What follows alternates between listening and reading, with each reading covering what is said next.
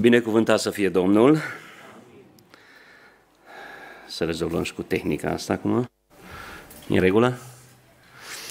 Uh, haideți să stăm ridicați când citim Cuvântul lui Dumnezeu. O să citim Psalmul 127, ținând cont că în această dimineață ne bucurăm împreună cu uh, familia Buta de binecuvântarea fetiței lor. Uh, am dus, da? transformăm această zi pentru o zi a familiei, o zi în care ne vom focaliza pe ceea ce înseamnă uh, viața de familie, trăirea noastră în familie și ceea ce Dumnezeu de fapt are și vrea să fie familiile uh, noastre. Citim Psalmul 127. Dacă nu zidește Domnul o casă, degeaba lucrează cei ce o zidesc. Dacă nu păzește Domnul o cetate, degeaba vechează cel ce o păzește. Degeaba vă sculați de dimineață și vă culcați târziu ca să mâncați o pâine câștigată cu durere, căci prea iubiților lui el le dă pâine ca în somn. Iată, fii sunt o moștenire de la Domnul, rodul pântecelui este o răsplată dată de el. Ca săgețile în mâna unui războinic, Așa sunt fii făcuți la tinerețe. Ferice de omul care își umple tolba de săgeți cu ei, căci nu vor rămâne de rușine când vor vorbi cu vrășmașii lor la poartă. Amin. Să ne așezăm. Atunci când uh, apare un copil în casă, în familie, mai ales primul, Ă, toate lucrurile se schimbă și oricât de pregătiți am crede că suntem ca părinți, suntem surprinși de fapt de foarte multe lucruri. Ă, vine cu, un copil vine cu multe noutăți și cei care avem mai mulți copii ă, am învățat asta că fiecare copil de fapt este un unicat și nu funcționează la fel. Uh, fiecare copil aduce încă o noutate, măcar că deja avem exercițiul uh, creșterii poate a altor copii. Uh, am înțeles că Rebecca este primul copil în familia voastră, mă bucur Domnul să o binecuvinteze și să vă binecuvinteze și pe, și pe voi. Atunci și mai ales când vine primul copil, avem un interes deosebit să pregătim, să investim mult, îi facem cameră, îi Ă, aflăm cât mai din timp ă, ce o să fie, știu eu, dacă vrem să aflăm asta ca să îi, îi vopsim, îi văruim camera, schimbăm perdelele, schimbăm mocheta, schimbăm bucătăria, schimbăm baia, ă, schimbăm mașina, schimbăm casa, pentru că vine un copil. Și copiii ăștia când apar în familie sunt niște mici tirani uh, au un simț al proprietății cum nu găsești la cei mai mari capitaliști. Uh, ăștia din prima zi cum vin de la maternitate iau tot. Absolut tot. Îl scot pe tată din casă, mă rog, numai că nu-i punem un pat în garaj unde să doarmă. Uh, în multe nopți și-ar dori să doarmă în garaj. Uh, îți ia, îți ia dormitorul, nu mai ai voie acolo, îți ia bucătăria să nu atinge, să nu atinge, toate sunt sterilizate, îți ia baia, na, n-ai voie, ă, mai, nu, aproape că te-ar duce în curte, ca pe vremea bunicilor noștri, să nu atingi nimic de ce ai copilul în casă. Ă, nu așa că se schimbă viața? Ă, până la urmă îmi scapă numele tatălui. Doru, Doru. Uh, trebuie să te obișnuiești că singurul lucru pe care o să-l mai ai în comun cu casa e să plătești facturile. Uh, da. Uh, de ce am spus lucrurile acestea? Suntem atât de preocupați să le oferim niște condiții extraordinare copilor și bine. Până la urmă și am locuit în diaspora mulți ani și uh, înțeleg bine uh, comunitatea din diaspora, viața din diaspora și eu îmi permit să spun anumite lucruri care devin enervante atunci când păstori din România care trec așa pe la învoanele bisericilor din diaspora le spun, vin și ne învață, nu așa cum îi să trăiască unde n-au trăit niciodată. Uh, dar eu să-mi permit să spun câteva lucruri pentru că, repet, am în comun multe lucruri cu uh, diaspora și vreau să spun lucrul acesta, dragii mei. Um, noi când am ales să locuim în diaspora, trebuie să fim sinceri și onești cu noi înșine. N-am venit neapărat să fim mai pocăiți aici, că puteam să fim pocăiți și în țară. Motivația mutării noastre a fost de altă natură și nu-i rău. Deci să nu credeți că acuz pe cineva că a, locuit să locuia, a ales să locuiască în Germania, în Belgia, în Austria, în Canada, în cazul meu. Nu, ci motivațiile, sigur, au fost diferite, pentru că poate unii au trecut prin momente dificile din punct de vedere material, au tras, a fost greu, poate alții, știu eu, poate au avut chiar anumite chestiuni politice înainte de 89 uh, sau după. Uh, nu știu motivația. Uh, am venit că e mai bine. O societate mai așezată, spunem noi, nivel de trai mai ridicat. Și uneori acesta devine un pericol. Care poate să fie pericol diasporei pentru familia noastră? Pentru că ne-am mutat mai mult pe considerente materiale decât pe considerente spirituale, că din nou subliniez acest lucru. Pocăit pot să fii oriunde, și în România, pot să fii și în Germania, și în Belgia, și oriunde în altă țară.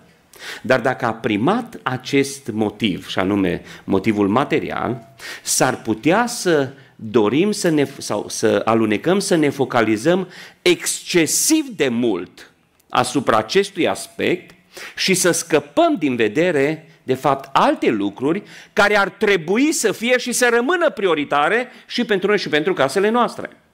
Și acum, legând aceste două lucruri împreună, aici putem să oferim multe lucruri copiilor. Putem să le oferim o casă mai bună, poate putem să le oferim lucruri materiale mai bune. Mă bucur de biserica aceasta pentru că balansează lucrurile și pot să ofere uh, o valoare spirituală familie și copiilor. Dumnezeu să vă binecuvinteze să vă țină viziunea aceasta în continuare. Dar mesajul care Domnul mi-a pus pe inimă în aceeași direcție pentru dimineața aceasta este acesta. Și pornind de la realitatea primului copil când ne dăm peste cap să aibă toate condițiile, mai mult decât cămăruța aia frumoasă, mai mult decât casa confortabilă, mașina pregătită și echipată cu sticker în spate, nu? Uh, baby on board sau uh, cine, un, un, un tată, acum mă pun rău cu doamnele, că vineri m-am pus cu bărbații rău, un, un domn a pus în loc de baby on board, a pus lady on board. uh, da, revenim. Mai mult de ceea ce putem să oferim noi, cel mai de preț lucru pe care putem să-l oferim copiilor noștri nu este numai o casă, ci este acasă.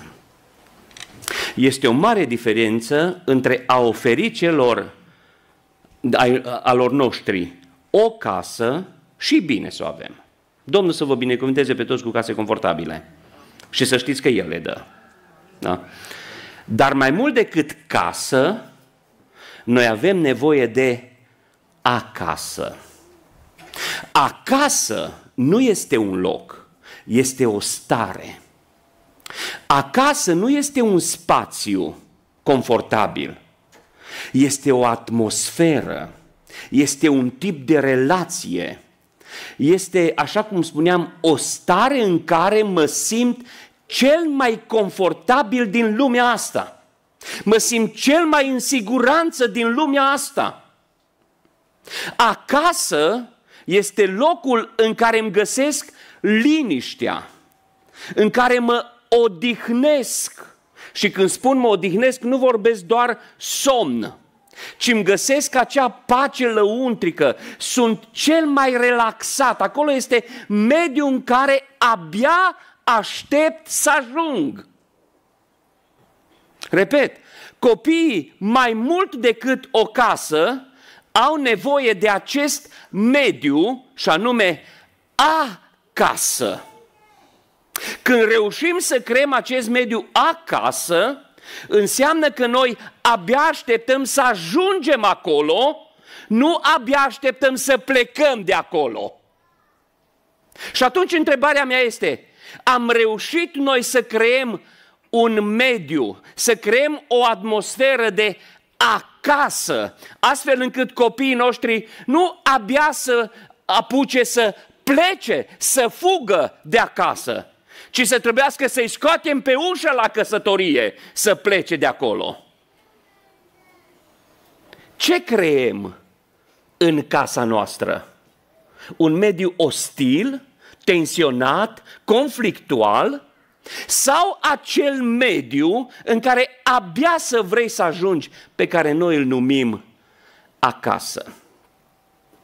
În toată slujirea de uh, păstor am întâlnit foarte multe situații dificile, delicate, în diferite uh, familii și mulți au o abordare greșită. De fapt, este o stare generalizată aceasta.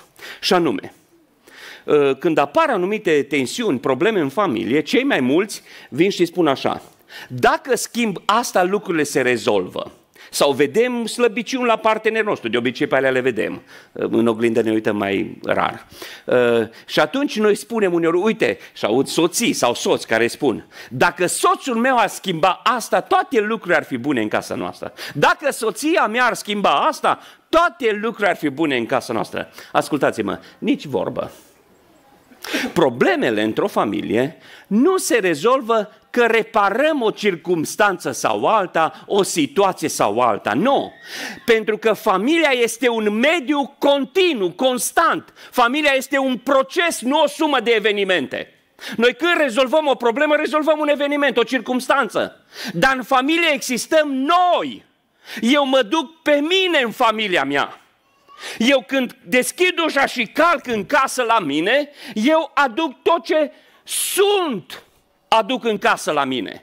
De aceea, mediul din casă va semăna cu ceea ce eu aduc acolo. Și degeaba corecteze una sau alta, pentru că până la urmă noi trebuie să fim ceva astfel încât familia să fie acasă, casa noastră să devină acasă și nu neapărat să mă screm așa din când în când să fac câte ceva.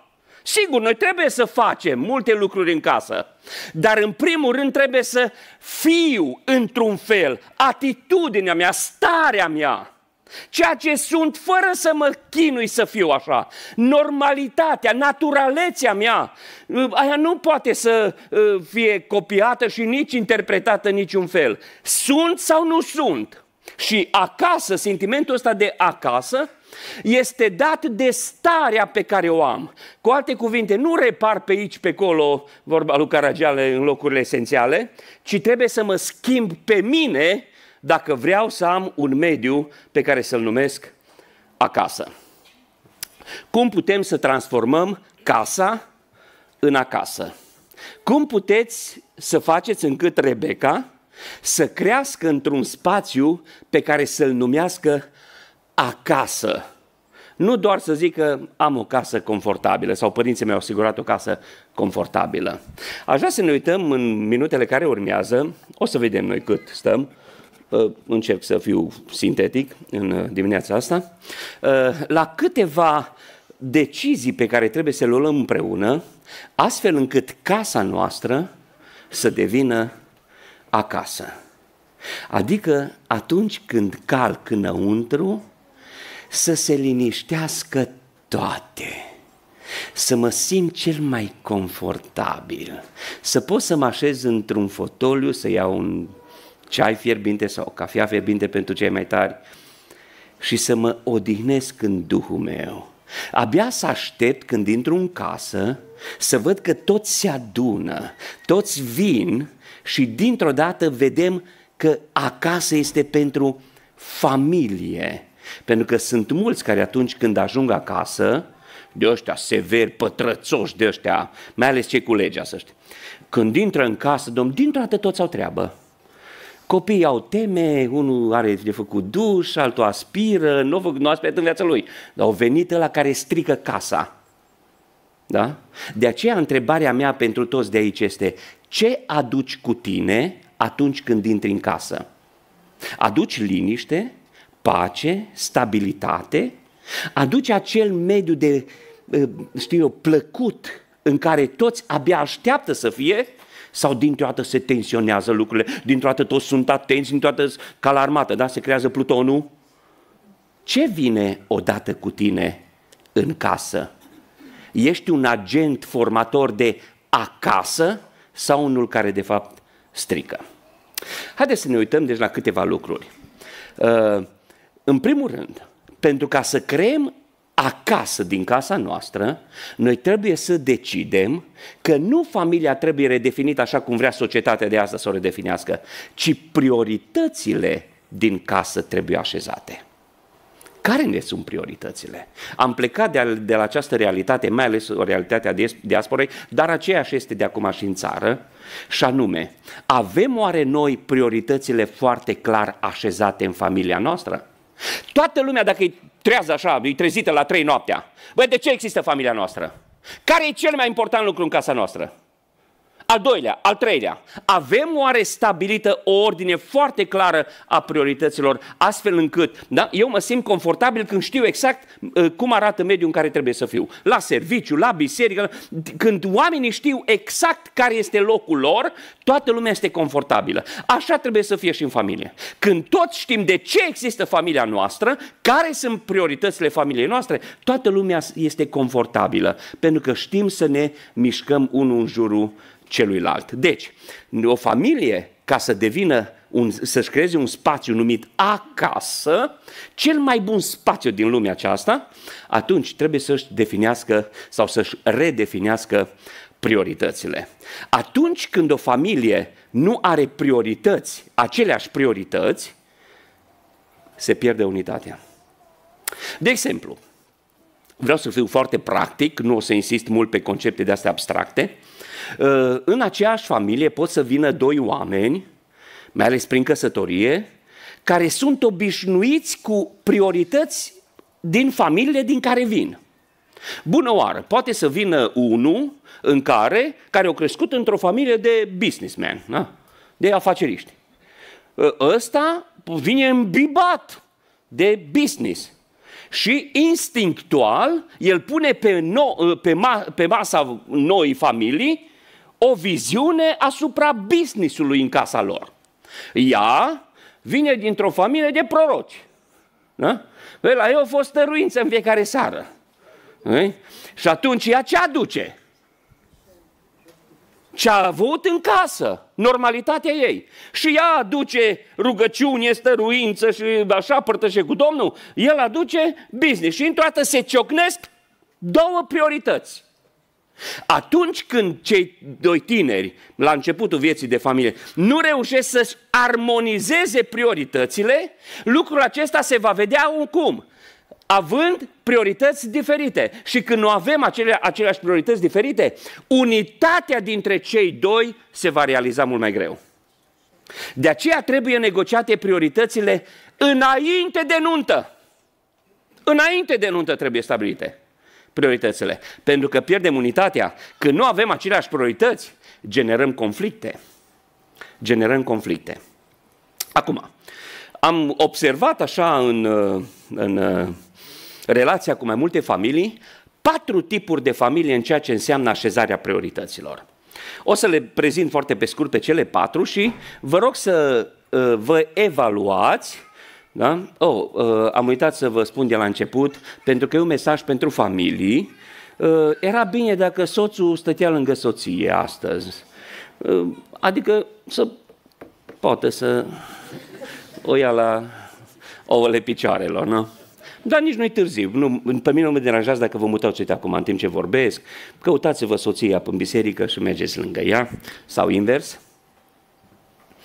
pentru că o să și facem ceva special la sfârșit și chiar e bine să stăm lângă o altă.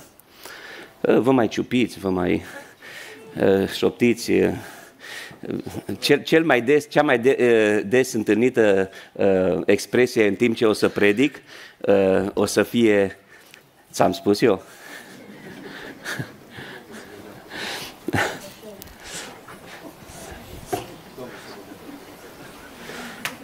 Unde te-ai mutat, Ionuț? Unde? A, aștepți, bun. Bun. Am zis că am observat uh, patru, patru tipuri de familii. Uh, voi ăștia necăsătoriți să nu vă mutați încă, să nu dați mesaje, o să vă mutați. Dar cine știe, poate puteți să dați un mesaj, că tot a fost o întrebare, cum să-i transmit, cum să-i uh, nu, comunic că aș vrea ceva. Du-te lângă. Bun. O primă familie pe care am observat-o este familia fără priorități. Familia fără priorități este familia care doar reacționează la circumstanțe, nu creează circumstanțe. Este familia lăsată așa, în voia sorții, dusă de val. Ce se întâmplă, ne adaptăm repede. Este familia care nu are vise, care nu are planuri, familia care nu vorbește, care nu comunică. Este familia care nu se desparte numai de frica iadului, că nu mai au multe lucruri în comun. Uh, este familia care și-a îngropat de mult visele. Uh, este familia care trăiește doar în trecut și își aduce aminte cât de a fost cândva. Această familie s-ar putea să ajungă chiar să experimenteze așa zise divorțuri parțiale. Pentru că, dragii mei, divorțul într-o familie nu are loc atunci când judecătorul zice s-a încheiat. Judecătorul constată o stare de fapt. Starea de fapt este în casă, pentru că acolo oricum nu mai este acasă de mult. Hai să vă dau un exemplu ca să nu vă las încurcați. Ce înseamnă aceste divorțuri parțiale? Uite, un divorț foarte frecvent parțial este divorțul spiritual. Divorțul spiritual este acel divorț în care soții nu mai au nimic în comun din punct de vedere spiritual. Ei nu se roagă împreună, nu citesc Scriptura împreună, nu postesc împreună, nu-și dau socoteală unul altuia. În momentul în care nu mai este altarul casei, în care nu este părtășia, biserica de acasă, este un divorț spiritual. Dați-mi să vă spun o statistică personală. Cele mai multe reproșuri din ultimele cazuri de familii pe care trebuie să le consiliezi, cele mai multe reproșuri din partea soțiilor au fost ceva de genul Uite, dacă reproșez ceva soțului meu, îi reproșez că și-a abandonat rolul de preot al casei. Și devine tot mai des acest reproș. Pentru că bărbații ocupați cu multe, cu alte priorități, încep să lase jos ștacheta spirituală a familiei. Și începe o rupere, eu cu rugăciunea mea, ea cu rugăciunea ei, eu cu postul meu, eu cu postul ei, eu cu scriptura mea, eu cu scriptura ei, copiii nu mai știu pe unde sunt. Și apare primul divorț parțial, divorțul spiritual. Apoi, mai poate să fie, de exemplu, divorțul emoțional, în momentul în care nu mai alimentăm sentimentele unul față de celălalt. Nu uitați, familia este ca orice alt, uh, alt sistem. Nu funcționează dacă nu investești. Nu, nici nu rămâne la fel dacă nu Ca să rămână cum este, trebuie să investim. Da, să crească. Deci, într-o familie unde nu se investește, scade, se pierde, se distruge și apare divorțul emoțional și auzim femei zdrobite care spun nu mai, soțul meu nu mai simte nimic pentru mine și încet, încet simt că nici eu nu mai simt absolut nimic pentru el și intră o groază pentru că uh, femeile uh, percep dragostea uh, aproape exclusiv emoțional. Da? Pentru noi rațională, pentru noi e pătrățoasă, ține de minte. Dar dragostea la soție rămâne în inimă. Și atunci multe se simt neiubite și apare așa zisul divorț emoțional. Poate să fie, de exemplu, divorț parțial financiar. Și este societatea de astăzi încurajează un astfel de tip. Foarte puțin sau uh, deja trebuie să fim foarte atenți să nu experimentăm acest divorț. Bună oară! Dacă mă uit în pormonele voastre, nu, nu o să mă uit, dar dacă mă aș uita în pormonele voastre, fiecare aveți un card sau două sau trei. Dar nu pe, doar uh, uh, nu împreună. Nu-i numele celor doi pe card, ci e cardul lui, cardul ei. Salariul ei intră pe cardul ei, salariul lui pe cardul lui. Știți ce, așa în subconștient ce vine? Eu cu banii mei, tu cu banii tăi. Este atât de ușor pentru că nu mai avem timp să comunicăm, să, doar să ajungem la o înțelegere. Tu plătești chiria, eu plătesc mâncarea și benzina. Ok? Uh, bun, este cel puțin o înțelegere, dar sunt multe familii în care nici măcar de o înțelegere minimală nu mai este timp. Și fiecare face ce vrea din punct de vedere financiar. Or, să stai să discuți bugetul lunar al familiei este un timp de calitate. Este un exercițiu de maturitate să stai și să-ți așezi buget. Ce buget? Păi dacă nu mai știu ce, nu, nu mai am nimic pe card. Nu, transferă și mie ceva. Da unde e? Zice. Păi nu știu, am și până la... Hai, hai să nu, intru în detalii de genul ăsta. Da?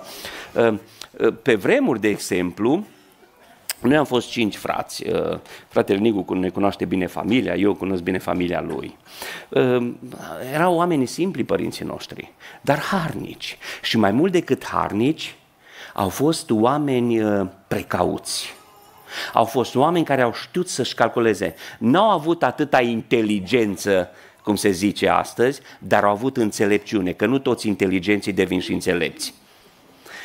Și știți ce făceau? Îmi aduc aminte că astăzi, când OPU venea cu salariu sau cu banii de la două zile de casă și, sau poate vă aduceți aminte, stârnesc un pic de nostalgie în voi acum, scoteau plicurile pe masă. Vă aduceți aminte? Și ziceau așa, numă, mama număra banii, era expertă număra banii. Adică era o femeie normală. Uh, număra banii și zicea, ăsta e plicul Domnului. Primul era plicul Domnului. Ăsta e pentru curent, ăsta e pentru gaz, ăsta e pentru mâncare, ăsta e pentru copii, ăsta e pentru... Și mă aduc aminte cum împărțeau banii și tot timpul rămâneau. Și aveam niște vecini cu un copil. Un mânz de copil aveau. Cine, toți, o grămadă de vecini acolo, noi cei mai mulți copii din zonă, da? Cine credeți că era banca de împrumut? Părinții mei. Și toți luau bani împrumut și dădeau și partea Domnului. Știți de ce? Pentru că e binecuvântare unde este unitate și unde este încredere și închinare prin dărnicie. Deci, poate să fie divorț financiar, poate să fie divorț intim. Nu o să intru în acest aspect astăzi, pentru că este biserică, nu e conferință de familie. Deci, familia fără priorități este într-un moment critic. Al doilea tip de familie este familia cu priorități diferite. Familia cu priorități diferite este familia foarte expusă la conflicte, pentru că el vrea una, ea vrea alta. Nu uitați, prioritățile se văd, prioritățile nu sunt alea pe care le declarăm noi. Domnul e prioritatea mea. Uh, prioritățile nu se proclamă, nu se, uh, da? Uh, prioritățile se văd, știți unde? În ce îmi investesc timpul, banii și energia. Unde îmi investesc astea și lucrurile pe care le fac cu cea mai mare naturalețe și bucurie. Acolo se vă prioritățile. Restul povești. Ei, în momentul în care există priorități diferite, acolo sunt conflicte multe, pentru că fiecare lucru trebuie negociat. Este o familie care dacă nu învață să negocieze, devine sau creează un mediu insuportabil. Și cei care plătesc cel mai mult în aceste familii, nu-i tata și mama, sunt copiii. Am întâlnit fată la 15 ani, a venit și a zis, frate păstor, abia aștept să fac 18 ani să scap de casa asta de nebuni. Ce primul care vine cu la mămărit. Vă dați seama că era sortită nenorocirii și ea? De ce? Pentru că tata și mama n-au știut să construiască un mediu pe care să-l numească acasă. Ea n-a aparținut, n-a vrut să aparțină unui asemenea mediu toxic și insuportabil din cauza doi catări orgolioși și nepocăiți. A treilea tip de familie este familia cu priorități impuse. Familia cu priorități impuse este familia în care unul domină și celălalt a cedat. Unul este depersonalizat, unul nu mai are, unul zice, oricum, degeaba îmi răcesc gura, că oricum nu ia în seamă ce spun. Și unul cai mari, ăla care rupe masa cu pumnul. Da? Poate să fie și ea, nu contează. Dar cineva domină.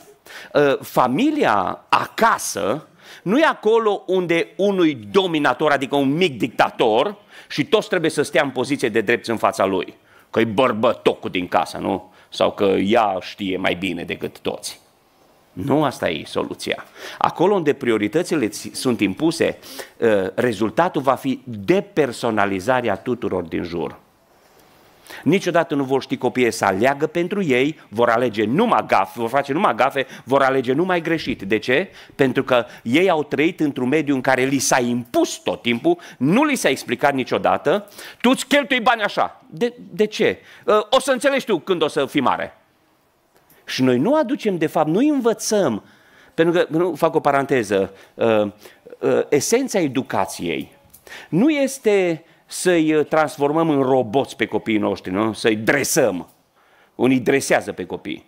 Uh, ci esența educației este că atunci când eu nu voi mai fi cu copilul meu sau copilul nu va, meu, uh, meu nu va mai fi cu mine, să aleagă la fel de bine ca și cum sunt eu lângă el. Pentru că el știe de ce alege așa. Pentru că are mecanismul corect de decizie, de alegere. Asta înseamnă o educație reușită. Deci prioritățile impuse sunt nocive în familie. Care este cea mai bună soluție? Priorități negociate. Prioritățile negociate îmi vorbesc despre o familie funcțională. Până la urmă, familia nu este altceva decât arta negocierii. Este o arta negocierii continue. Familia care își negociază prioritățile este familia care are maturitatea să stea ochi în ochi, să vorbească, să aibă un dialog așezat, matur, ca doi oameni pocăiți și educați. Tot timpul la conferințe familie țin la cele două cuvinte cheie. Pocăință și educație. De ambele este nevoie. Aceștia știu, nu se atacă reciproc, se prețuiesc, se respectă, se ridică unul pe celălalt. Nu tot timpul unul pune pe celălalt jos. Ă, stai tu liniștit că nu, ai, nu știi tu cum e, nu pricep tu încă prea bine. Ă, am mai multă experiență, știu eu cum merg lucrurile. Ă, în, în felul acesta îl zdrobim, îl terminăm pe celălalt. Noi trebuie să-l ridicăm pe celălalt și să negociem, să discutăm ce e important, ce vrem de fapt de la casa noastră, astfel încât casa să devină acasă.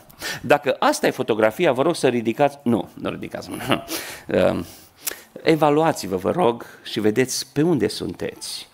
Pentru că vreau să vă mai las încă câteva lucruri. Probabil că o să trecem cu 10 minute după 12 uh, și jumătate, dacă nu vă supărați, pentru că vreau să las câteva lucruri importante, cum să transformăm casa în acasă. Și pentru a avea priorități în familie, dar suntem încă la priorități vorbim, pentru a avea priorități în familie, familia trebuie să fie o prioritate. Adică n-am cum să așez priorități în familie, dar familia nu e o prioritate pentru mine. În primul rând trebuie să fac familia o prioritate pentru mine, nu serviciu, era să zic nu slujirea, dar trebuia să mă opresc atunci, da? Uh, nu altceva. Ă, familia trebuie să fie o prioritate și atunci voi avea șansele să așez priorități în familia care este de fapt prioritate pentru mine. Ă, dar cum? Pentru că până aici sună foarte bine, nu abstract așa. Cum decidem care trebuie să fie prioritățile familiei? Aici nu trebuie să găsim noi răspunsul.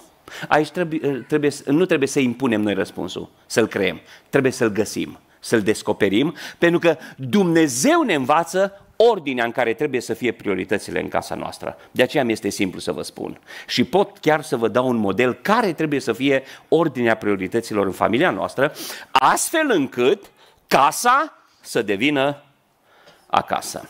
Pentru a vedea care este ordinea priorităților, vă duc cu gândul la un text din Vechiul Testament și o să mă refer în câteva minute la experiența lui Iov.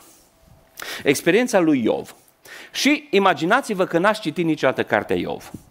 Dacă ne uităm vreo 30 uh, și ceva de capitole, uh, în cartea Iov se vorbește numai de suferință. Deci frământarea lui Iov, de ce sufăr, de ce eu, de ce numai eu, de ce ăștia îmi cer să-mi găsesc vina, uh, de unde vine asta, de ce, de ce mie, Doamne? Și imaginați-vă că n-ați citit niciodată cartea Iov și trebuie să-i descrieți viața. Faceți o lectură sumară. Care este primul lucru care vă vine în minte când spun Iov? Mie, în mod natural, îmi vine suferința. Suferința. Dacă v-aș întreba al doilea lucru care vă vine, bogăția. Bogăția, cel mai de cuvază dintre fiii răsăritului. Al treilea lucru care mi-ar veni în minte e că au avut șapte fii și trei fete. Au fost ca mine, dar au avut numai fetele. Eu n-am cei șapte fii. Da? Și al patrulea lucru care îmi vine în minte este de fapt primul. pe care Dumnezeu îl menționează. Pentru că noi avem un, niște lentile după care evaluăm pe ceilalți. Iată care este ordinea priorităților cum Dumnezeu vede în viața lui Iov. În țara Uț era un om pe care îl chema Iov. Și omul acesta era neprihănit, curat la suflet, se temea de Dumnezeu și se ferea de rău. Patru calități, toate de ordin spiritual. Care este prima prioritate? Viața spirituală. La ce se uită Dumnezeu când se uită în casa ta? Primul lucru. La ce în garaj? La ce în living? La ce în, bucă, la ce în frigider? La relația noastră cu Dumnezeu. La viața spirituală a tatălui, a mamei, a copiilor. Ăsta e primul lucru pe care le evaluează Dumnezeu. De aceea, prima prioritate a vieții noastre trebuie să fie viața spirituală. Și nu o spun asta pentru că sunt într-o biserică, ci pentru că doar așa casa devine acasă. Evaluează-te din punct de vedere spiritual. Există prima biserică din care tu trebuie să fii parte, nu-i Betel, Munich. Nu. No. Ci prima biserică din care tu trebuie să faci parte este biserica de la tine de acasă. Mă întâlnesc uneori, sau călătorind așa mult, uh, întâlnesc biserici tensionate, frământate, și numai nu găsesc, de nu știu de unde vine toată tulburarea asta din biserică. Și am zis, dragii mei, tulburarea în biserică nu, nu există, ea e adusă. O biserică nu e tulburată în ea. Tulburarea într-o biserică e adusă. De unde e adusă? Din bisericile celelalte. Care? Alea vecine? Nu, cea de acasă. Păi cum putem veni din biserici sănătoase de acasă să preznească lucrurile în biserica unde ne întâlnim aici? De aceea vă spun, prima prioritate la care noi trebuie să ne oprim este biserica de acasă. A doua prioritate pe care Domnul evaluează în viața lui Iov este familia. Și continuă. Avea șapte fii și trei fete. Bă, o familie faină. Ne gândim acum, cum a putut să fie neprihănit cu zece copii? S-a dus un păstor dată la o soră, avea tot așa vreo 10 prunci, doi în brațe, doi trăgeau de fustă, pe unul ștergea de muci, de, unul striga din baie, hai șterge-mă, pe unul... Doamne, ce era acolo, săraca, transpirată toată. Și fratele păstor nu întreba, ce faci soră? Ce să întrebe? Ce faci soră? Sora zice, da, apoi cu binecuvântările astea.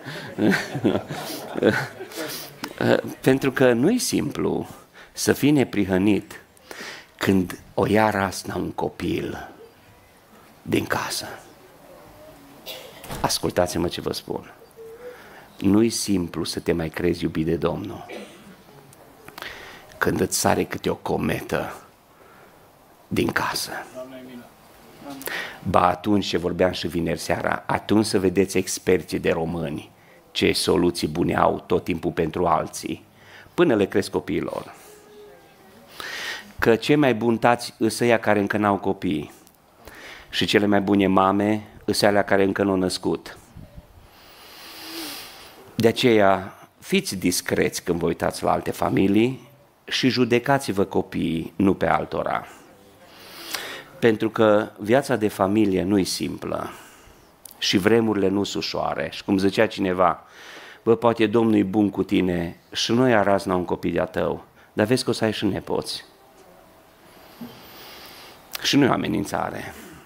Dar Domnul se uită la familia lui Iov și zice, dar prima evaluare viața spirituală, apoi viața familială. Avea șapte fii și trei fete.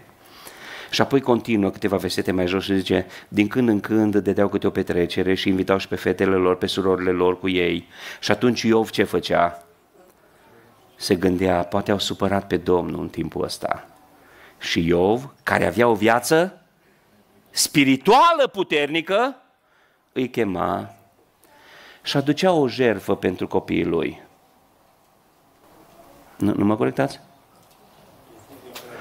Câte o. Câte o jerfă. Adică nu făcea așa cum facem noi, părinții uneori, hai să ne rugăm pentru copii, zic de la învon, frați uneori. Zicem, Doamne, binecuvintează copiii, te rog ajută-i să, să gate școala bine, să căsătorească bine, păzește-i pe drumul, binecuvintează-ne copii. Eu n-a știut binecuvintează în copiii. Eu le-a știut numele. Și lua pe ăla mai mare, și-o adus jertfă pentru el, l-o chema și-o vorbit cu el. L-o chema pe al doilea, o adus jertfă pentru el, l-o chema și-o vorbit cu el. Și vorbea cu Dumnezeu și zicea, mă, trâncălău ăsta, mă, e mai, e mai nesâmțit dintre toți, e mai dur, mai cred că și-o bătut joc de surorile lui acolo la petrecerea aia. Doamne, aduc eu jertfă, că ăsta oricum nu aduce jertfă până nu i-a mintea la cap. Adică, ce vreau să vă spun, era atent la detalii în familie. Era de la detalii, îi lua pe rând. Pentru că Dumnezeu ne evaluează spiritual și ne evaluează cum suntem în familie. Știți ce observ la, la Iov? O mare binecuvântare. Am, i-a învățat pe copiii lui ceea ce puțin părinții mai învață astăzi. Să fie uniți. Cunosc cazuri și, da, sunt situații și mai actuale așa, în care se prind, se ceartă frați între ei. Ascultați-mă, să te dai în judecată, frate pe frate, după ce ți-o murit părintele pentru o mejde, pentru încă un rând de mălai. Doamne, ai milă. Dar știți ce îmi spune asta? Nu neapărat că părinții îți devină, dar poate un pic trebuia mai mult lucrat la unitatea dintre frați. Când scrie acolo că le chema și pe surorile lor, în vremea aceea nu însemna mic lucru. Dar știa, tata ne vrea împreună. Tata e bucuros când suntem împreună. Nu, unul cu un grup, unul cu alt grup, unul în mie, unul din... Un... Tata e bucuros când ne vede împreună. Zidiți unitate în, în copiii voștri, nu competiție. Și al treilea domeniu pe care îl evaluează Dumnezeu la viața lui Iov e viața profesională. Păi când ne uităm la cât de neprihănit a fost, când ne uităm câți copii au avut și ce făcea pentru copii, sigur ăsta era pe șomaj. Nu? Pe când să mai ai timp și de altceva? Ascultați-mă. Era cel mai prosper din vremea lui. Și începe acolo, avea, îmi scapă niște numere, cred că 300 de, de cămile, 5.000 uh, de măgărițe, nu mai știu numerele astea, că mi-au murit din neuronia aia. 7.000 de oi, 3.000 uh, de cămile. Da. Mult. Și un număr mare de argați, zice acolo. De angajați, cu alte cuvinte. Păi, dragii mei, vă dați seama ce firme de transport avea eu? Păi dar cu cămilele ce făcea? Transport la distanță era asta, nu? Adică tiruri. Câte, câte cămile mea? Spune. 500, bine am zis, da?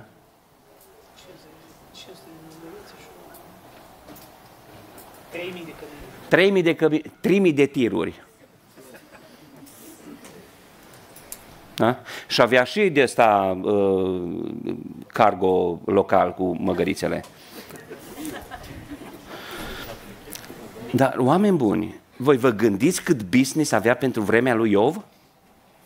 Și era neprihănit. Și avea timp de familie și avea timp de business. Pentru că Dumnezeu i-a dat înțelepciune să-și stabilească ordinea priorităților într-un echilibru perfect al vieții. Dumnezeu este cel mai important, urmează familia și apoi lucrurile materiale. Știți ce a făcut Iacov când venea Esau spre el? Iacov, care toată viața n-a, n-a trăit decât să adune, să adune, să adune, a călcat pe toți. I-a, i-a, i-a călcat în picioare pe toți. Să mai aibă ceva în plus. Încă o oaie, încă o cămilă. În momentul în care a venit Esau și a zis, acum pierd tot. S-a întâlnit cu Dumnezeu la părâul Iabocului. Îi vine mintea la cap și zice, trebuie să mă ordonez prioritățile acum. Și știți ce face Iacov? Iacov așează tabăra în ordinea în care acum este gata să o piardă. Aici vedem prioritățile lui Iacov. Și ce vrea să piardă prima dată acum?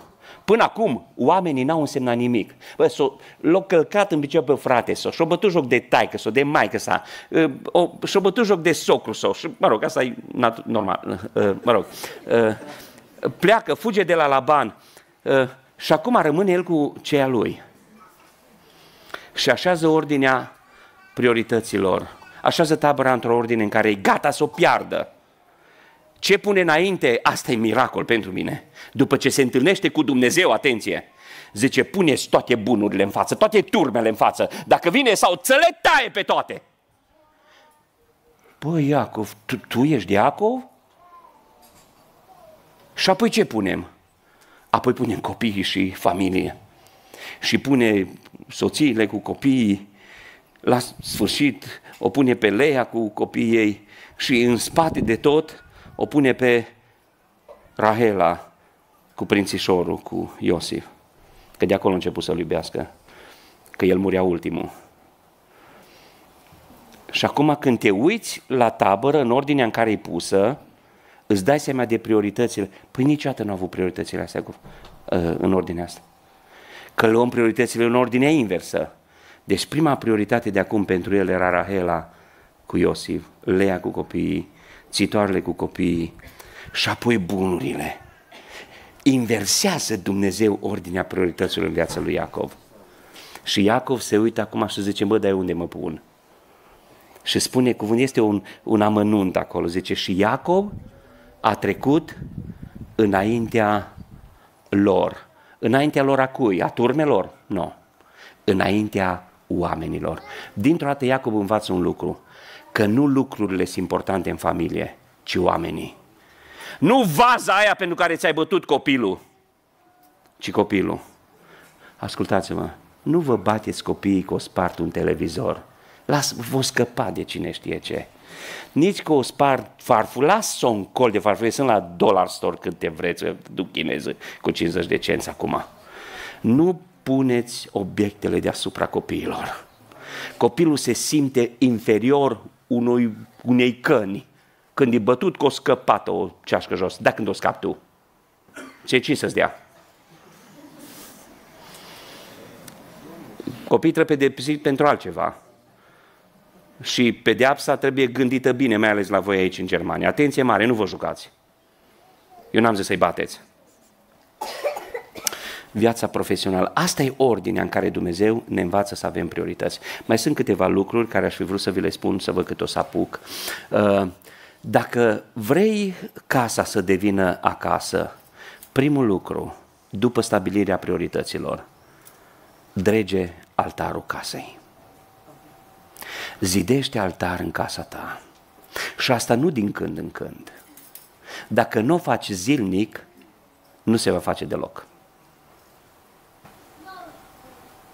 Repet, dacă nu este zilnic, nu se va face deloc. Acum aveți, suntem atât de ocupați, nu putem în fiecare zi. Dragii mei, cum ziceam, nu facem fiecare zi stăruință, dar o rugăciune cu toată familia, un psalm cu toată familia, o zi de post pe săptămână cu toată familia, Astea sunt lucruri care ar trebui să fie naturale într-o familie de credincioși. Știți câte lucruri rezolvă acele 10 minute de părtășie cu Hristos? Îl țin pe Hristos în casă! Dacă ți s-a dărâmat altarul, rezidește el din seara asta. Adună-ți copiii, ia soția, stați împreună. Când ne adunăm la altar, toată distanța zilnică dintre noi se comprimă și din nou suntem împreună. Ne apropiem unii de alții și toți ne apropiem de Dumnezeu. Drege altarul pentru că altarul aduce unitate, altarul aduce creștere spirituală și nu numai intelectuală, emoțională. Altarul ne aduce protecție pentru că dăm socoteală. Acolo la altar îl mai luăm pe câte un copil și zice, bă, Sami, cum ți-a fost ziua de astăzi? Ce, care a fost cel mai greu moment? La un moment dat o să deschidă și o să zică, tati, am o vulnerabilitate. Tati, nu mai pot să trec peste asta. Sami, nu te alung de acasă, ne rugăm pentru tine, luăm post. Tati, mâine am examen. No, nu, în seara asta nu strici asul de rugăciune, ai examen, mai ai de învățat. Bun, uite, ne rugăm, Domnul să-ți aducă aminte numai ce ai citit, nimic altceva. Mm, adică ne protejăm în rugăciune. De aceea e importantă biserica de acasă. Al doilea lucru, dacă vrem casa să devină acasă, trebuie să învățăm să ne sfădim. trebuie să învățăm cum să gestionăm conflictul. Pentru că, dragii mei, conflictul nu este dacă va veni, ci când vine, repet, nu dacă, ci când, și vreau să vă mai spun încă ceva. Noi n-am fost învățați, de aceea am pus tot timpul în paralel pocăința și educația. Noi nu avem educația conflictului, trebuie să recunoaștem asta. Noi, românii, nu avem educația conflictului. Suntem o nație țâfnită, mândră și orgolioasă. Și pentru noi conflict înseamnă numai scandal și circ. Conflict înseamnă altceva. Vreau să vă las un gând și probabil că o să mă opresc aici. Uh, gândul acesta, o să mă opresc uh, doar la uh, conflict, cum spuneam, măcar că mai propusesem încă un lucru. Conflict, dragii mei, conflictul este și trebuie să fie o mare binecuvântare pentru casele noastre. Nu este schimbare fără conflict. Nu este creștere fără conflict. Nu este maturizare fără conflict. Acum depinde ce înțelegem prin conflict. Dar vreau să pricepem și să lăsăm Duhul lui Dumnezeu, un Duh de înțelepciune, să plecăm astăzi de aici cu o libertate să înțelegem că uh, conflictul în familia noastră, care este inevitabil, poate și trebuie să fie o binecuvântare pentru noi. Cum? Dragii mei, conflict nu înseamnă ceartă. Conflict înseamnă negociere. Conflict înseamnă ciocnire de idei. Conflict înseamnă păreri diferite, opinii diferite. Ori noi suntem diferiți. Tu nu te-ai căsătorit cu una ca tine, că nu te-ai fi suportat. Ok? Uh, câteodată stau să mă întreb, oare m-aș, nu m-aș fi suportat. Uh, și, uh, pentru că suntem diferiți, soț și soție, gândim diferit, așteptăm, funcționăm diferit, ne supărăm diferit, ne bucurăm diferit. Absolut diferit suntem. Zici că e de pe altă planetă. După ce m-am căsătorit, uite, au trecut 31 de ani de atunci, în primii ani, au trecut prin cap câteodată, pentru că n-am știut. Nu mi-a spus nimeni că e așa diferit. Eu am crezut că m-am însurat cu una ca mine. Și când mi-am dat seama cât de diferită îi și nimeni nu m-a învățat, am început să mă întreb, oare m-am căsătorit cu persoana corectă? Cu persoana potrivită? N-am greșit. De ce? Păi tot timpul are opinie diferită. Tot timpul vede altfel decât mine. Devine enervant la un moment dat. De ce nu gândește ca De ce nu vrea aceeași mașină pe care vreau? Aceeași casă pe care vreau? Același restaurant pe care vreau eu? De ce nu vrea ca mine? Pentru că suntem diferiți. Pentru că Dumnezeu ne-a creat diferit. Diferiți. Imaginează cât de plictisitoare e familia în care amândoi la fel. Da? Cât de energetică e familia unde sunt diferiți. Da? Bun, uneori trece pe zonă roșie, dar uh, o să vorbim și despre asta. Deci, pentru că avem opinii diferite, conflictul poate să fie o binecuvântare atâta timp, și atenție acum, cât el rămâne sub controlul nostru. Ce înseamnă asta? Conflict înseamnă, de exemplu, să am o dispută de idei cu Ionuț. Eu să cred una, Ionuț să creadă alta. Eu sunt matur nu când gândesc la fel ca el sau el ca mine, ci sunt matur când știu cum să am dialogul acesta al unui om pocăit și educat de pe poziții diferite. De aceea, conflictul binecuvântat este conflictul cognitiv, îi spunem. Conflictul cognitiv este acel conflict care se păstrează la nivelul minții. Ne păstrăm rațiunea. Ce înseamnă asta? Noi venim și discutăm argumente. Dialog pe argumente. Da?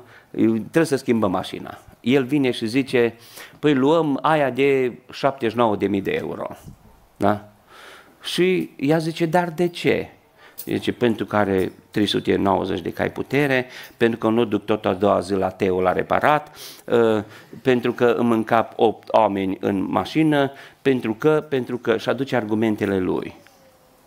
Ea vine și zice, eu zic să o luăm pe aia de 3200. Dar de ce? zice, tu o să fii mai relaxat și nu o să sforăi noaptea de atâta stres că vin ratele. Apoi, ă, nu mai trebuie să stai două ore în plus pe zi la lucru ca să faci diferența până la așa, pentru că o să ajungi și o să, o să poți în fiecare zi să pui încă o oră în plus pentru familie și nu o să mai ai argumentul ăla, nu mergem la rugăciune că n-am timp. Și ea vine cu argumentele ei.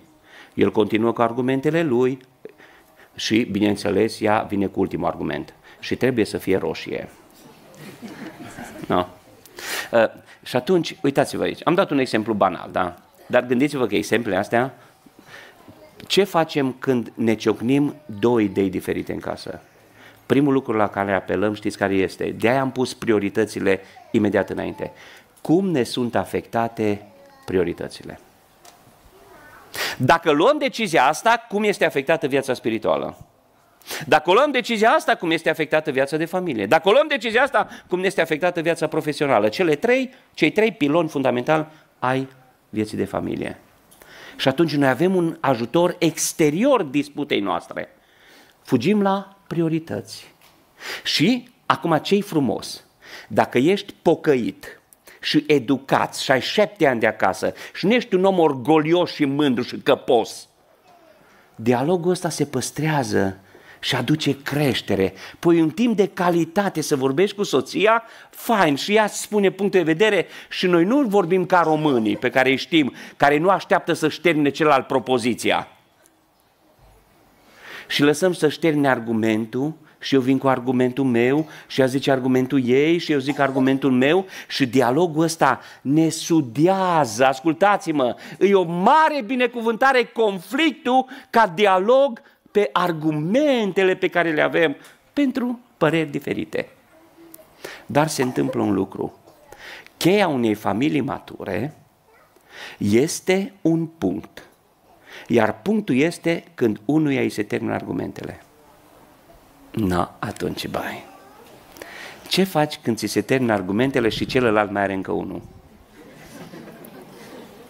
Am avut o conferință nu de mult despre ă, tot așa cu familie, nu mai știu unde, și mi-au cerut ă, frații, că am diferite ă, abordări așa, mi-au cerut frații să vorbesc o temă, vreo 16 ore, cred că a fost conferința de familie, când amândoi avem dreptate. Ce facem când amândoi avem dreptate? Nu? vorba populară e că cel mai deștept cedează, știi? Și soru banca. Ce facem când amândoi avem dreptate? Apelăm la priorități. Asta e. Aia e cheia. Și atunci, revin, când îi se termină unuia conflictul, uh, argumentul, no, acum vă rog să legați momentul ăla, dacă ăsta e nepocăit, needucat, fără bun simț, fără respect pentru soție sau soț, da? N-are șapte ani de acasă, e un om mândru. Știți ce va face? Când nu mai am argument, atac persoana. Nu mai este ciocnire de idei, da? nu mai atac prin argument, atac persoana. Că nu vreau să mă simt umilit, să pierd. Acei soți nu sunt Uh, nu, nu se completează unul pe altul, se concurează unul pe altul. Vai de familia unde soțul și soția sunt în competiție. Deci dacă unul nu este pocăit, nu este educat, îi se termină argumentele, începe și zice, am știut că așa o să faci întotdeauna, ai făcut așa, totdeauna tot trebuie să ești, ca mai ta ești. Uh, și scopul nostru atunci se transformă din a găsi soluție la dispută, da? adică să alegem ce e mai bun pentru familia noastră. Că de aia e ciocnirea de idei, ce e mai bun pentru familia noastră. Singurul scop pe care l-am atunci este cum să-l rănesc mai tare pe celălalt, să-l umilesc, că el mai are un argument și aduc apoi din trecut și pescuiesc în trecut și am știut eu că atunci ai făcut și, cum să zic, suntem experți în a găsi săgeți otrăvitoare care să zdrobim sufletul celuilalt. De ce? Nu suportăm că n-a fost mai bună ideea noastră. Și de ce? Vă spun eu de ce. Pentru că mă pun pe mine deasupra familiei. Că dacă aș pune familia deasupra mea, nu-mi pasă că opinia mea sau opinia ei. Nu-mi pasă. Mie îmi pasă să fie opinia cea mai bună. Nu contează cui. De aceea, conflictul cognitiv este un conflict binecuvântat. Ciocnire de idei, alegem cei mai buni. De obicei este o negociere acolo, vă spun. De obicei este o negociere. Nu luăm nici pe aia de 3200, nici pe aia de 97 de mii. Da? Găsim una așa la 3800. Da. O secundă. Deci marea problemă este când conflictul cognitiv se transformă în conflict emoțional. Atacul la persoană, iar dialogul se transformă în scandal.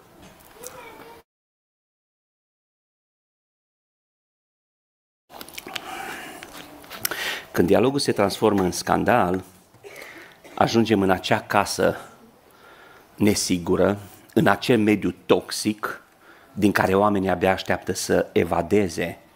În niciun caz nu este un spirit de acasă. Care sunt însă și de unde se nasc diferențele astea de opinie? Pentru că e bine să le știm. N-am fost învățați, ăsta e adevărul, nu ni s-a spus ce am mai citit din cărți și de cele mai multe ori cum am dat noi cu capul de pereți. Uh, iată de unde vin diferențele de opinie care creează acest dialog pe care îl numim conflict. Sunt, deci conflictul cognitiv, rațional, acela binecuvântat, vine din diferențe de opinie. Vine apoi din diferențe uh, de nevoi fundamentale între soț și soție și mai vine și din diferențe din creație. Toate aceste trei, diferențe de opinie, diferențe de nevoi, diferențe din creație, sunt obiective, nu noi le-am creat. Așa ne-a făcut Dumnezeu, așa am crescut. Da? Și ele generează așa numitul conflict cognitiv, adică acela binecuvântat. Hai să ne uităm puțin la diferențele de opinie. De unde vin diferențele de opinie? De, cum gândește nevasta mea așa, mă? Bă, de unde gândește bărbatul meu așa, mă? Cum, Doamne, îi trece prin cap asta când e atât de evident că argumentele mele sunt bune? De unde au venit ideile astea, mă? Și nu știm de unde vin. Și totuși, dacă nu știm de unde vin, începem să fim frustrați și să credem că suntem lângă o persoană nepotrivită. Hai să vă dau doar câteva exemple de unde vin diferențele de opinie. În primul rând, diferențele de opinie vin din istoricitatea noastră. Ce înseamnă istoricitatea asta noastră? Păi, imaginați, aduceți-vă aminte când v-ați căsătorit, da? Nu știu, acum nu știu câți ani. V-ați spus împreună, v-ați trezit în aceeași casă, da? Înainte să te căsătorești, ai crezut că știi totul despre Tiute, că îl cunoști în deamănunt și tot despre el, că tu știi totul despre ea. Nici vorbă, doi străini de pe două planete suntem. Și ne trezim în prima seară că ție trebuie să mânci pe sofa, da, pe canapea, și când te-o văzut ea cu farfuria în brață, o lemnit. Și ce cauți acolo? Da? Și când s-a întors, că tu erai cu macaronele în pat, când s-a întors, s-a văzut papucii în bucătărie. Deci, cum să zic, șoc, da? Numai că nu a sunat la 112. Și hai luați creatura asta din, din cam, o, e cineva în casa asta care trebuie să dispară. De ce? Pentru că ea a fost poate obișnuită într-o familie în care totul era bă, linie, perfect. Papuci așezat, chiuveta brici, cam, cam fabrică. Nu? Când nu mai, dacă ți-o spart oglinda, te uiți în inoxul ăla, te bărbierești, da? Lună. El vine dintr-o familie unde o venit tasa, o trânti cu salopeta în votol, o luat o cană de ceai, dar nu la televizor, dar du nevastă o zam aici.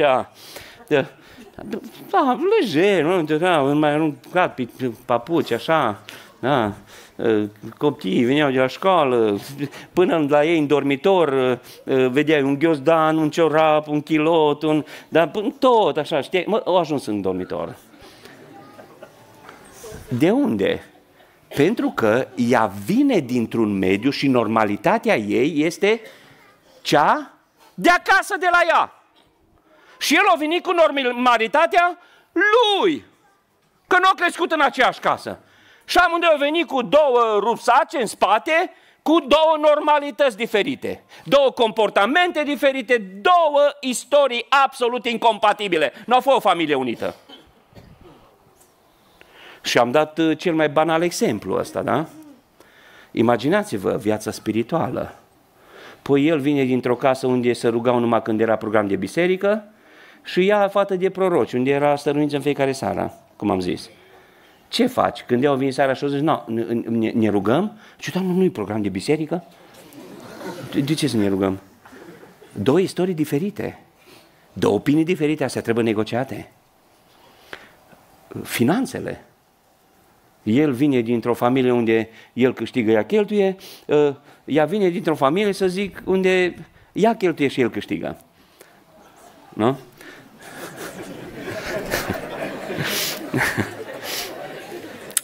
Ă, da, două sisteme financiare diferite am vrut să spun. Ce faci? Cum negociezi? Pentru el e normal, ea să țină banii. Pentru el e normal să discute să facă buget, să împartă, să fie clar tot. Nu pune-te împreună. Cum te pui împreună în toate astea? Negociere. Conflict cognitiv. Asta întărește casa. Asta duce binecuvântare peste casă. Două istorii diferite. Când le negociem și le punem împreună, aduce binecuvântare. Deci istoricitatea creează diferențe de opinie, Apoi, personalitatea creează diferențe de opinie. Bă, avem personalități diferite. Unii, știu eu, uh, sunt orientați pe oameni, alții sunt orientați pe proiecte.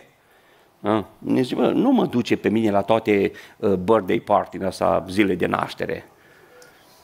N-am nicio problemă să vorbesc. Mihaela e o femeie discretă, e retrasă, e enervant de discretă, da? La ei să-i spun, ei să-i spun, vezi că avem o zi de naștere. Păi o, o lună nu mai doarme. De ce? Nu e cu mulțimile, nu e cu așa. Eu n-am nicio treabă. Mă duc la niență ăștia peste drum și stau cu ei la party. Nu, suntem personalități diferite. Avem chemări diferite, daruri diferite. Apoi, diferențe de opinie se nasc și din temperamente diferite. Unui melancolic, da, îi place ceaiul cu o poezie bacoviană lângă uh, un șemineu cu cărbune aprins. Nu? Aia e cea mai faină zonă. Altul e un coleric de ăsta care, bă, când are ce face, strâcă casa, mai mută mobila. Socră mea, de câte ori mergeam la ea, tot timpul era casă nouă. Niciodată nu mai era, nu era mobil acolo unde o lăsam, nu? Este un coleric. Nu? Știți ce se zice colerici? Ăștia nu fac niciodată ulcer, dar îl fac toți din jurul lor. Nu? Suntem diferiți. Diferențe de opinie. Ok? E, conflictul însă în momentul în care conflictul cognitiv se transformă în emoțional, adică coboară din minte în inimă, și atunci ne pierdem controlul, atunci folosim pentru prima dată serviciul de farfurii pe care l-am primit la nuntă cadou. Da? Că din când în când mai scăpăm câte una pe jos. Da? Le-am mai zis la o altă conferință. Nu știam de ce pe vremuri, când nu se puneau bani, se aduceau cadouri la anunț. Vă aduceți aminte, nu? Mă, vedeam cutii, cutii, cutii. Și când mă uitam, toți servicii de farfurii tot m-am întrebat, bă, la de ce atâtea seri? După aia m-am prins. Erau folosite în negociere. Da? Da. Ei, atunci când se transformă în conflict emoțional, conflictul ăsta emoțional este favorizat de câțiva factori. Un prim factor care ne ajută să... ne ajută, nu ne ajută, ne nenorocește să ducem conflictul, dar dialogul la frumos din minte în inimă, este neîmplinirea așteptărilor. Când nu sunt împlinite așteptările și mă refer la așteptările normale, legitime, despre care, din păcate, nu mai am timp să vorbesc astăzi, măcar le avem pregătite. Apoi, orgoliu. Știți ce înseamnă un om orgolios? Un om care nu și-a crucea să-L urmeze pe Hristos. Asta înseamnă om orgolios. Cine nu-și ia crucea, deci să se lepede de sine, adică să renunțe la orgoliu. Asta înseamnă lepădare de sine. Renunțare la orgoliu. Ceartă-te cu unul care nu e orgolios. Te sfădești în oglindă, ce faci? Toate conflictele astea emoționale ar dispărea dacă ar dispărea orgoliu. Orgoliu înseamnă nepocăință. Asta înseamnă orgoliu. De aia, când mă cheamă așa familie, frate, zice că e foc în casa noastră și am sunteți gata să vă pocăiți. Păi frate, și pocăința a venit. Nu, nu, nu. Pocăința dacă vine, intru cu voi, vă ajut. Dacă nu sunteți dispuși la pocăință, n-am ce să caut, oricum, oricum nu se rezolvă nimic. Nu căutați ajutor pentru familie dacă nu sunteți dispuși să vă pocăiți mai întâi. Îți povești de astea, scărpinături, psio, nu știu de care. De dat bani gratis la consilieri. Că doar trebuie să-și găsească și aia fraierii. Uh, deci, uh, orgoliul stârnește, deschide calea să coboare conflictul din minte în inimă. Și nu în ultimul rând, perfecționismul. Atunci când uh, locuiești cu un perfecționist sau tu ești perfecționist, ai o calitate de a-i frustra pe toți. De ce? Perfecționistul ridică ștacheta într-un mod nerealist, dar nu în dreptul lui, în dreptul tuturor din jur. Perfecționistul are așteptări aici de la toți, când el știe că realitatea e aici. Toată bucata asta între așteptare și realitate se numește frustrare.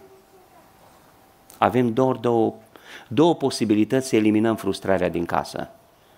Perfecționistul să să nu să se vindece, la ăștia le trebuie minune, aproape cât o eliberare da? Să coboare ștacheta, în, să trăiască, să vină cu picioare pe pământ, să trăiască în lumea reală, să vină München. Da?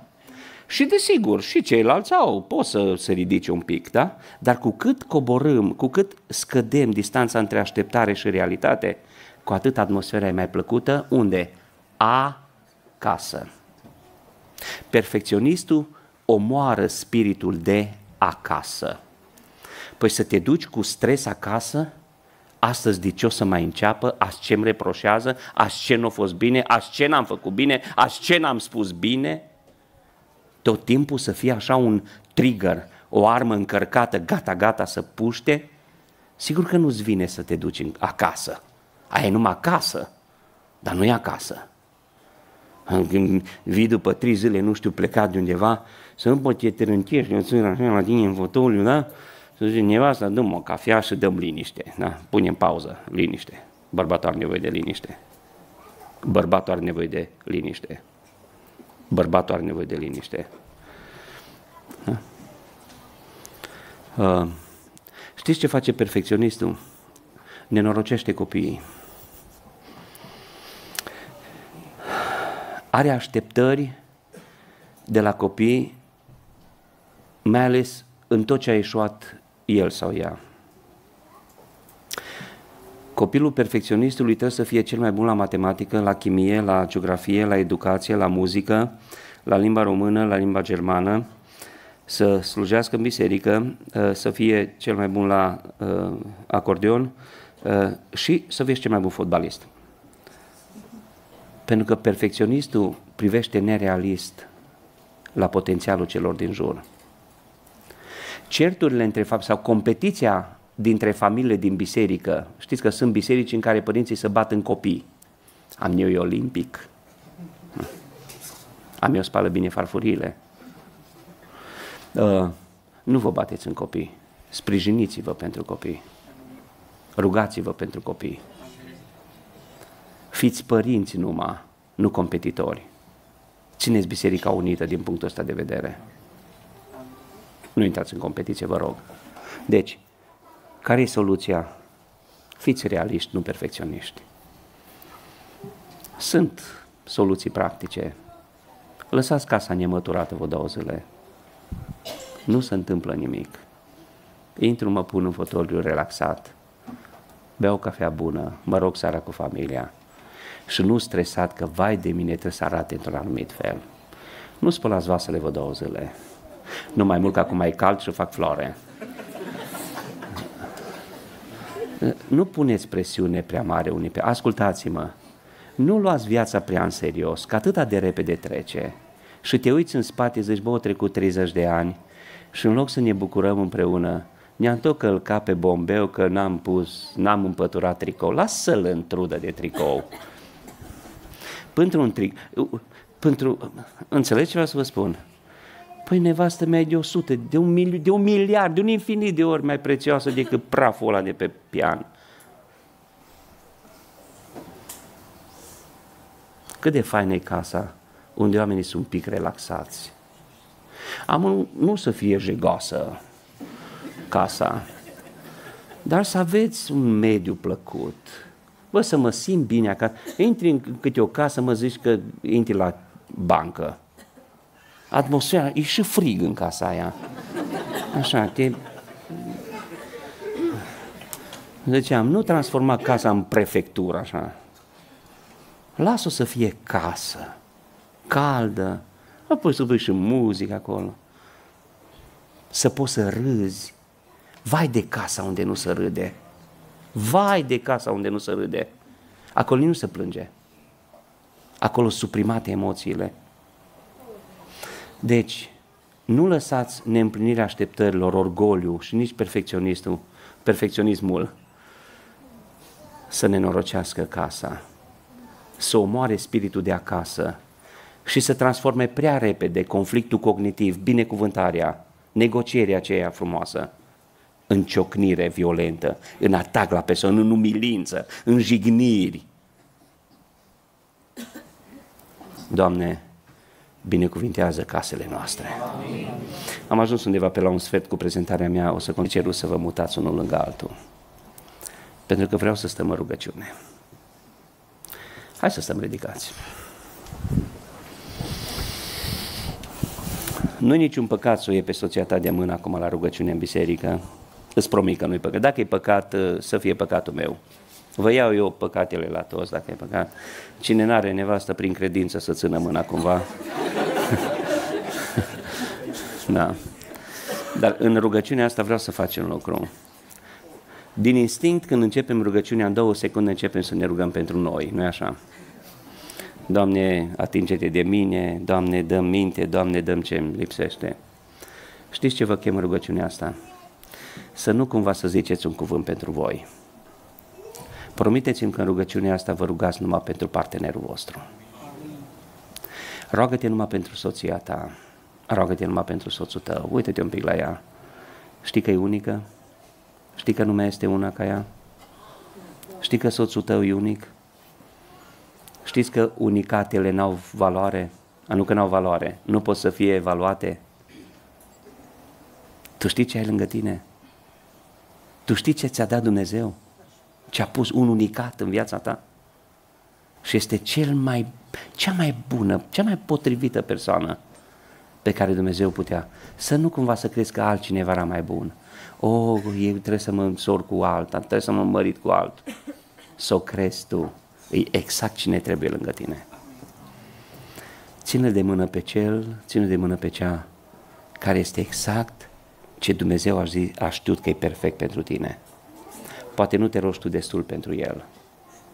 Poate nu te rogi destul pentru ea. Rugăciunea asta te rog, niciun cuvânt despre tine, numai despre soț și soție. Tu știi vulnerabilitățile și durerile, îi știi căderile și neajunsurile, îi știi bucuriile, îi știi limitele. Adu-le înaintea lui Dumnezeu. Și după ce terminăm să ne rugăm unul pentru ceilalți, unii pentru ceilalți, îi luăm pe rând pe ei și ne rugăm și pentru ei. Domnul să asculte rugăciunea asta. Nu ne grăbim, ne rugăm. Dar faceți-o cu credință și cu păsare. Intrăm în rugăciune.